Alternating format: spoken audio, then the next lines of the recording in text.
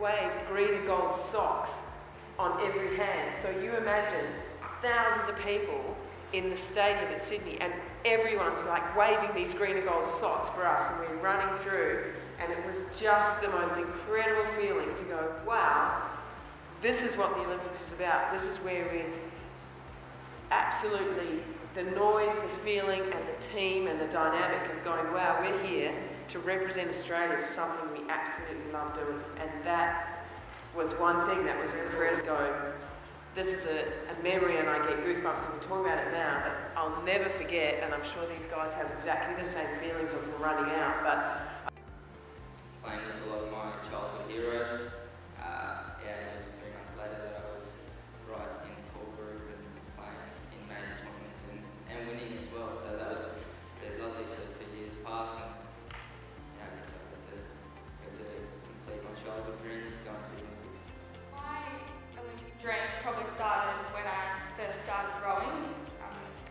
the West Australian Institute of Sport were running a talent search program. The biggest, the biggest change is the distractions.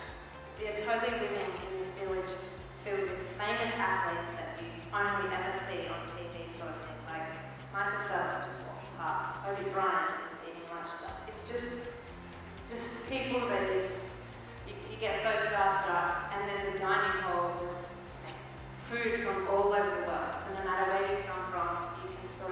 something that you're used to.